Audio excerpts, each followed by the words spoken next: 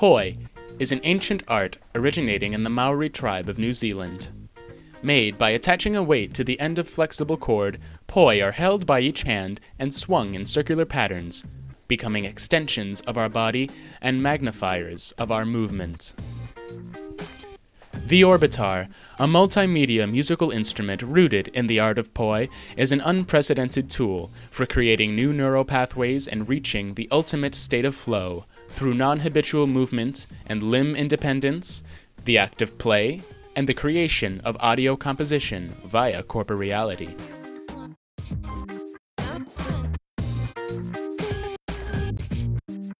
The Orbitar satellites are equivalent to the weighted end of traditional poi.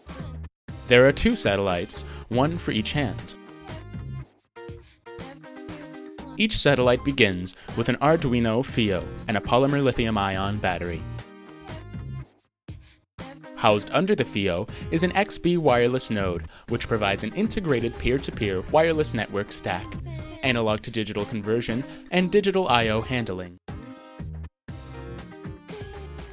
Nesting above the FIO is a triple-axis accelerometer, which measures angular velocity, a two-axis gyroscope, which measures rotation around the x and y axes, and a high-power LED, which emits a full range of colors.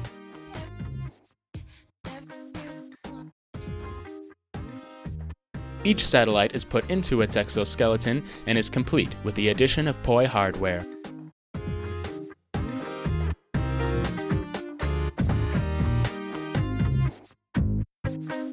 The gloves are used as the interface for switching performance parameters, such as the synthesizer patches, effects, and lighting variables.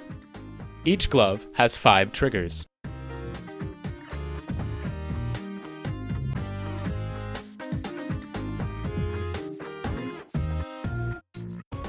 In addition to the satellites and the gloves, a headset will function as a third form of input, into which the orbitarist will sing to control audio frequency.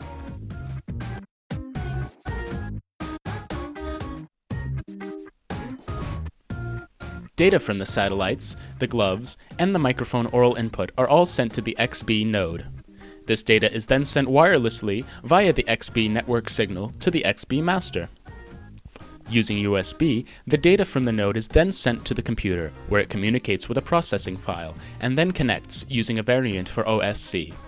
The OSC signals are then ported through a custom interface and into Max MSP, where the signals can be routed and controlled through the fully modular system.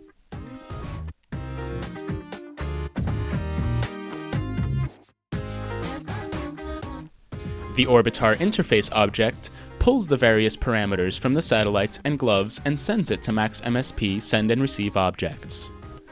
It also provides feedback with a visual display of the raw data. Signal conditioning can scale inputs and filter them. It also has peak, or high and low, detection and differential event recognition, which can be used for percussive effects and detecting tempo. The calibration tool has a manual and automatic mode, and easy-to-read visual feedback for performing.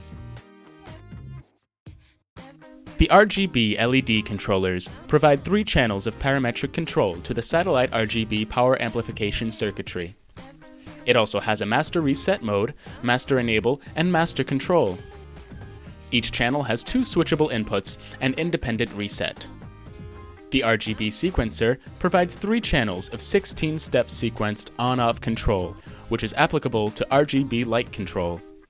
Features include patch switching, patch management, adjustable tempo, and a master start-stop. The glove interface provides visual feedback of glove interaction and modularizes the outputs. Clicking on the interface will also trigger glove events.